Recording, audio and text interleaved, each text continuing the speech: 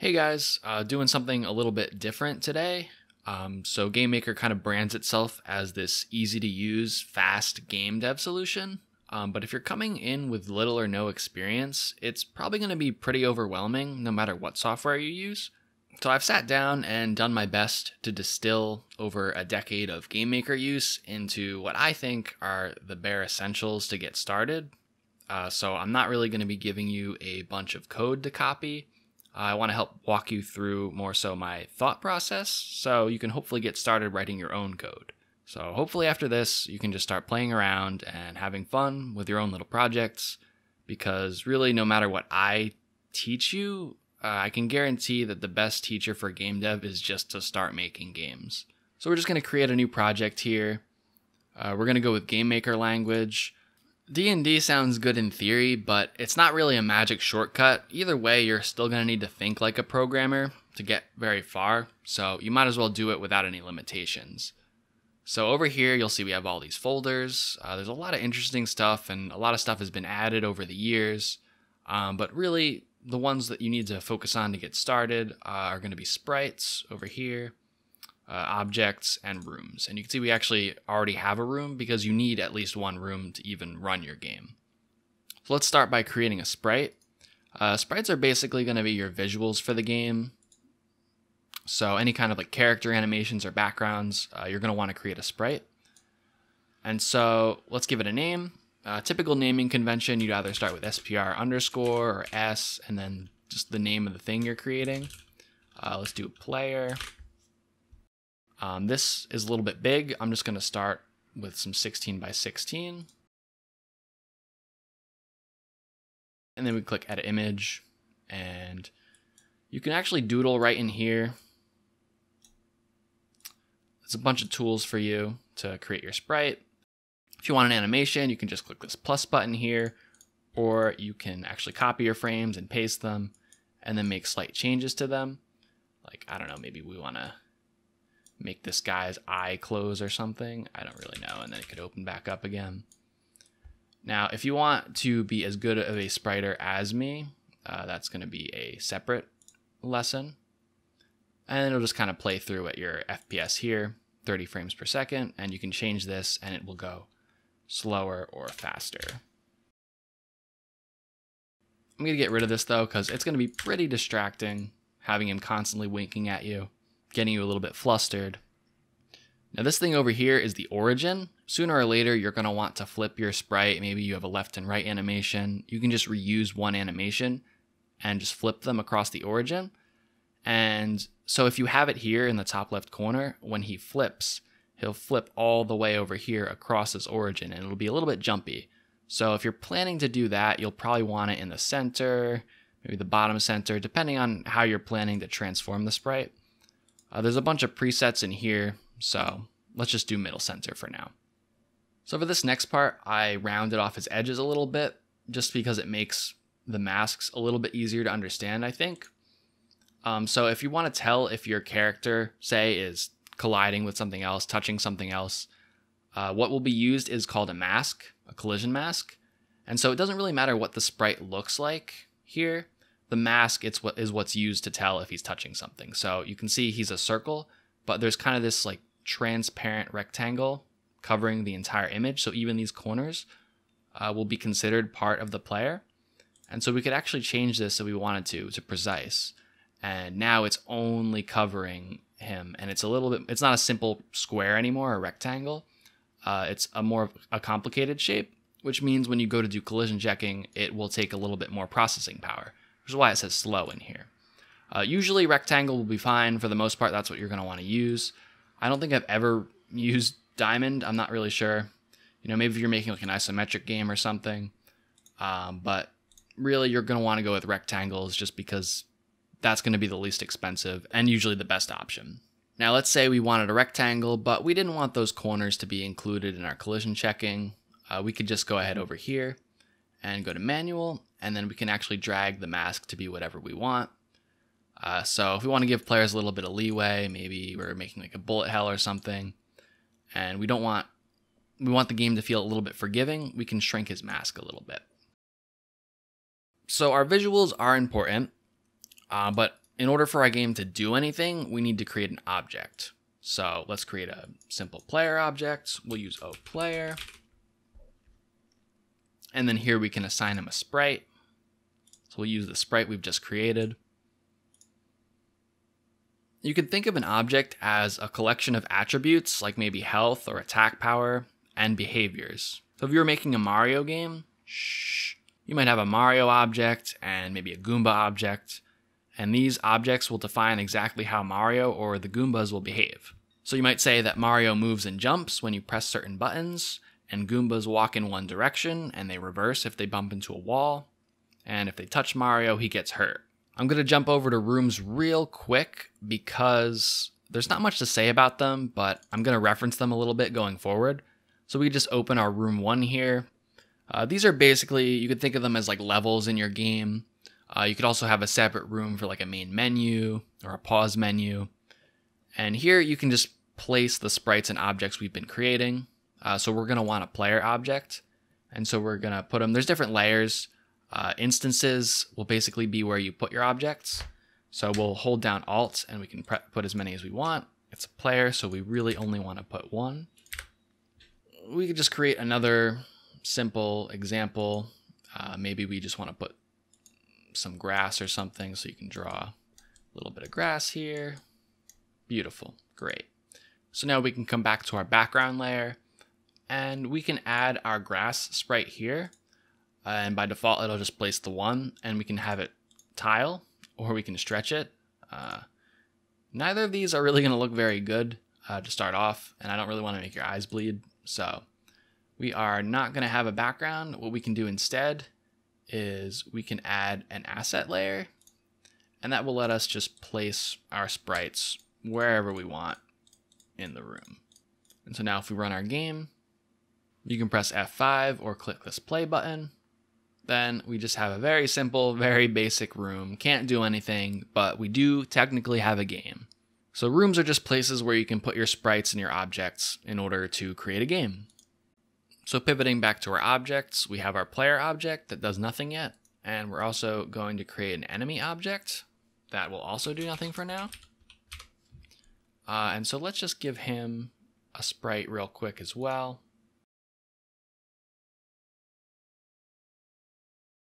So he is going to be red and very angry. And so in order for our enemy to actually do anything, we're going to need to add some events. Events let us run bits of code or logic whenever certain things happen to the enemy object. There are all kinds of events you can add, like literally a whole list of them. Uh, but all you really need to get started would be the create event and the step event. So create event here, we click it, and then we've got some code to write. The create event will happen, you guessed it, when an instance of that object is created. So we boot up our game, we enter the first room. As soon as these enemies and this player is spawned into the room, their create events will run, assuming they have one. So this is a good place to set up the data that your object will have.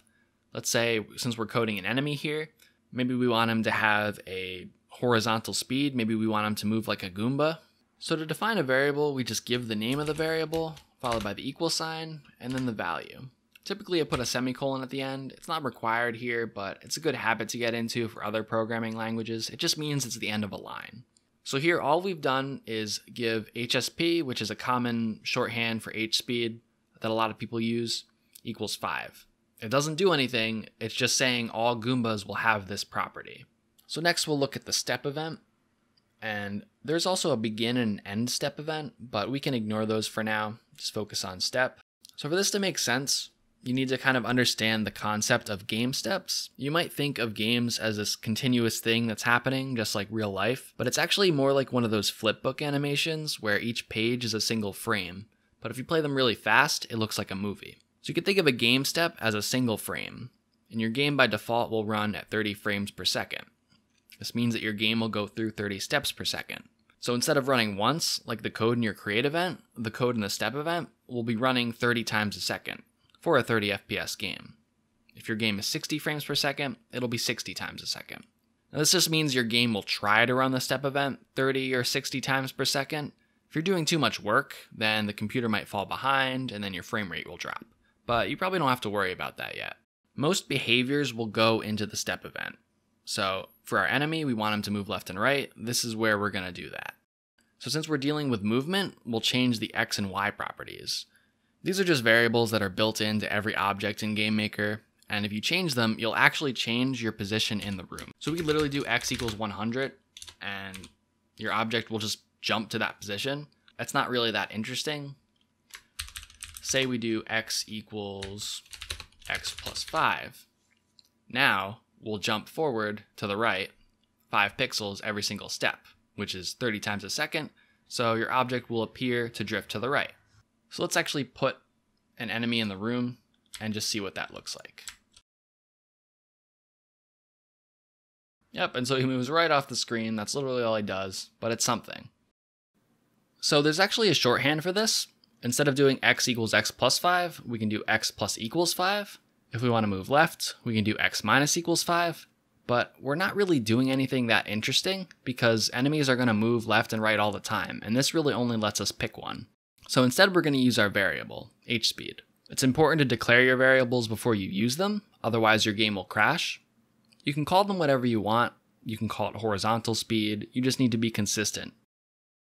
So now that we're doing x plus equals h speed, we can change our h speed beforehand, and then he'll go either left or right depending on what we've set it to. So let's say we want to reverse after, I don't know, three seconds.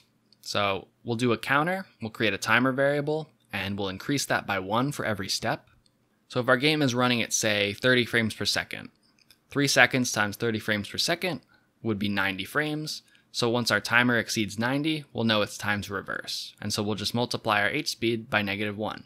Now you might actually notice that there's a bug here, because by setting our timer to greater than or equals to 90, once we hit frame 90, we'll constantly be reversing, and we won't really go anywhere. So instead, we'll do equals equals, which is the equality check, so this will do one exact reverse on frame 90 or step 90. And so you can see here, he turns around once and that's all. So this isn't really super interesting. Um, but before we move on, this is a little bit clumsy because 90 doesn't really mean much to someone who's just looking at the code. So we want to be a little bit more clear with our code, so we'll define a variable time to reverse. We can do 3 times 30 or 3 times 60, but we're going to do 3 times room speed so that if we decide to change our frame rate later on, then we don't have to go back in and change our variable. So we can swap out this 90 for time to reverse, and this makes a little bit more sense. Let's say now we want to reverse every 3 seconds. Now we can do this with the built-in alarm system in GameMaker. We use this alarm variable here, and in brackets we can do which alarm we want to use. Any object can have up to 12 alarms. They go from 0 to 11. Uh, and so here we're just saying that we want to use alarm zero. This works like the timer we already created, except instead of counting up, it's more of a countdown. So we set it here to our time to reverse, and on every game step, GameMaker will count down all of our alarms by one, and when it hits zero, it'll execute whatever code we have in that alarm event. So once our alarm hits zero, this code will run. And then if we want this to run multiple times, we can just set our alarm again right here in the alarm event. So the game will run until time to reverse, and then the alarm will go off, the code there will run, he'll reverse, and then we'll set the alarm again to time to reverse. So if we did this right, the enemy will reverse once, and he did, and then he should reverse again, and he did.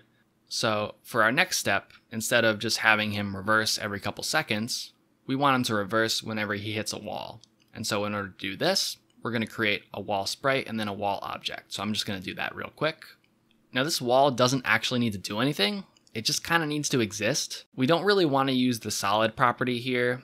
It's a built-in feature of GameMaker, but not a lot of tutorials use it, and it's better to just have control over these things yourself, so I would recommend not to use it. So let's open up our level and put a couple walls here for the enemy to bounce off of. And now in our step event, because this is happening every single step, we're going to want to check if the enemy is about to run into a wall. And so we'll use a built-in function called place meeting. And this takes three inputs. It takes an X and Y position and an object that you want to check for a collision with, in this case, our wall. And so this will basically look at a hypothetical situation and return true or false. If we move our object, this current object, to this X and Y position, will its collision mask overlap with the collision mask of one of these specified objects, in this case, a wall. And if it does, it returns true. If not, it returns false. So if we just do X and Y here, it'll literally check, am I inside of a wall? But that's kind of too late to be useful. We want to check before he runs into the wall. So that's why we're going to do X plus H speed. So we're going to do this before we actually increase our X by H speed. And we're just going to look, is the position that we're about to go into going to be colliding with a wall? And if so, we're just going to reverse our direction. So let's check that out. And there, you can see right before he touches the wall, he'll turn around. And he's basically a Koopa stuck between two pipes. So we still don't have a very interactive game, so at this point we're going to focus on the player. So let's make a create event and let's give him an H speed of zero. We don't really want him to move unless the player explicitly tells him to. So first we're just going to have X be incremented by whatever our H speed is. And instead of automatically setting our H speed, we're going to set it based on what the player is pressing. So we have a built-in function called keyboard check, and there's a couple variants. So if I hold down a key and I do keyboard check, it'll return true on every single step until I release the key. Pressed and released will only return true on the exact step that I press or release the key, and then from that point forward, it won't return true again until I've released the key and then pressed it again. In this case, we want the player to continue moving as we hold the key down, so we're going to do keyboard check. And so there are some built-in constants for different keyboard keys, VK right for right and VK left for left, so on. And here we'll just set our H speed equal to 5, but it's a little bit clumsy to do it this way, so we're going to define a variable called move speed, and then we're going to use that here. So that way, if we decide that 5 is too slow or too fast, we only need to change it in one place. So really we're just gonna do positive five for going right and negative five for going left. Now we also wanna move up and down, so we'll do V speed for vertical speed, and we'll just add up and down checks. This is something that can be a little bit counterintuitive, uh, but going up is actually considered lowering your Y position in GameMaker. And I think game programming in general.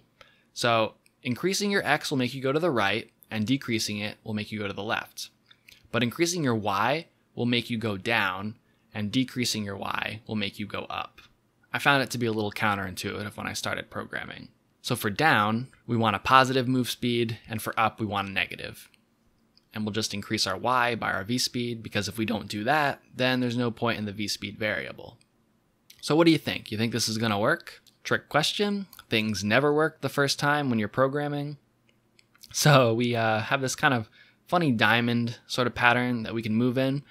Uh, and the issue here is that we're never really setting our H speed or our V speed back to zero when we release keys. Even if we change one component of our direction, the other one is still kind of going. So we're always moving in this sort of diagonal direction. And so there are a couple flaws with how we've coded this.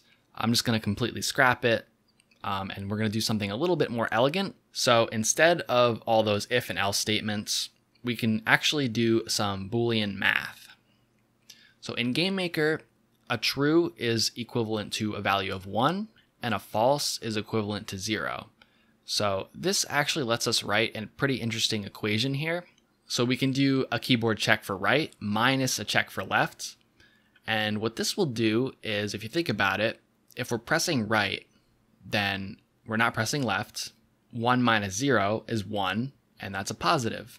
That's moving right. If we're not pressing right and we're moving left, it'll be 0 minus 1, and that'll be negative 1, which corresponds to moving left. If we're pressing both keys like an absolute madman, it'll be 1 minus 1, which will be 0, and we won't move. And if we're not pressing anything, it'll be 0 minus 0, and we won't move. So this will give us our direction, and then we just need our speed, so we just multiply that outcome by our move speed, and that'll give us our h speed. And that one line will take care of moving right, moving left, and stopping. If you want to write this a little bit more cleanly, we can break this up into two lines. It's never a bad idea when you're programming to add more variables and break up complicated looking code. So here I define an h direction variable, and I use the var keyword here to define what we call a local variable. This just means that h direction is only defined in this step So, whereas the variables we made before were created in the create event and then used in the step event, we don't really need H direction to be used anywhere else. We just want it to be used here in the step event. So that's why I'm adding that var keyword. It's always a good idea to limit your variables to being used in the smallest number of places as possible. You'll help prevent more bugs that way and cause less confusion. So now our h speed is just our move speed times our h direction, which I think makes sense. And now we can basically just repeat that whole process, but for vertical speed. And so now if we run this, everything should work smoothly. Now our player controls exactly the way we want him to. He stops when we let go of the keys, and we can move in diagonal and straight and all those fancy directions. In just two lines of code, or four lines of code, not many lines of code, we've created a fully controllable character. Of course, he doesn't really do anything yet, the enemy doesn't do anything, and he can walk through walls, but we're making progress. So for this last section, we're going to make a level that's just a little bit more interesting. We're going to bound the player into these walls, and we're going to add a bunch of enemies to bounce off of the two walls, and we're just going to make it our goal to get the player from the top of the screen to the bottom of the screen. So the first thing we'll do is prevent the player from walking through walls. Luckily, we've basically already implemented the collision check that we need in the enemy, so we can mostly just reuse that same logic, but with a slight tweak. See, because the player isn't moving automatically and he's moving based on our inputs, we don't want him to reverse, we just want him to stop. So we'll just set HP to zero instead of reversing it. And because our player also moves vertically, we'll also want to do a v-speed check as well. We'll add a little wall up here so we can't just go up and out and around. And so this collision check, you might be able to guess what I'm going to do. It's basically the same thing, but checking with v-speed and adding it to our y. Just looking at the position we're about to move to vertically and stopping if we're going to hit a wall. So here we go. We can't escape. These walls are trapping us. This is good. Our enemies don't really do anything though. So real quick, just going to add a collision check for the enemy and if we hit them, we're just going to restart the game. Real simple. Now we also could actually use the built-in collision event here. This is totally fine. It's a really simple collision check uh, where the order of what we're doing doesn't really matter. Uh, I would avoid doing that same kind of collision event for our wall because it doesn't really give us the flexibility of checking different positions like our x plus h speed and our y plus v speed, it only really lets us check our current position. And we also know in our code exactly where the collision check is happening, whereas if we add the collision event, it's less clear where that's happening in our code and we have less control over it. So now we run the game and we have to try to get to the bottom. If we touch an enemy, we start back at the top. Really simple. Don't feel bad if your art doesn't look as good as mine. So while this might seem like a pretty simple game that we've created, we've actually covered a decent amount. We've done objects, sprites, and rooms, talked about a couple different kinds of events. We've done movement, keyboard input, collision checking, we've even done alarms. I will say that the collision checking that we have done is pretty rudimentary, and if you want to do more precise collision handling, there's a couple different ways to do it. You'll probably need a loop. You might notice if you play around that the player doesn't actually stop right up against the wall. There'll probably be a little bit of a gap between him, and this makes sense if you think about it, because if your H speed is, say, 5, and you're working with a grid that's, say, 16 by 16, 5 doesn't really divide evenly into 16, so he's always going to stop when there's just a little bit of extra space there. It's a little bit outside the scope of what I want to cover today. It's definitely something I can cover in another tutorial, though. But I think this is enough so that you can probably get started at least messing around with GameMaker. What you do next depends on what kind of game you want to make. For most types of games that you probably want to create, there's probably going to be a specific tutorial somewhere on YouTube if you want to make like a Mario game or more of an RPG like game. And if you really like this, then maybe I'll make some of my own. I'll leave some links in the description for tutorials and YouTubers that I think are pretty helpful. Some closing advice I'd like to give is that you don't really need to spend too much time watching tutorials. They're very good for learning something specific if you have a goal in mind, but if you're just learning for the sake of learning, you're probably just going to forget everything you watch. You'll probably have better luck just getting started and learning as you need to. I think for game dev, hands on is really going to be your best bet. So let me know if this was helpful, and if you'd like to see more of these kinds of videos. This was something a little bit different for me, and first time making a tutorial like this. Usually I'm just making videos about either games that I like or the game that I'm working on. Speaking of which, I'm developing my own action platforming roguelite in GameMaker, and I'm documenting the whole process from start to hopefully getting it released on Steam and maybe even the Switch if the Switch is still around by the time I finish it. I do devlogs roughly every month, so feel free to check that out as well. So hopefully you learned something today, and I'll see you next time.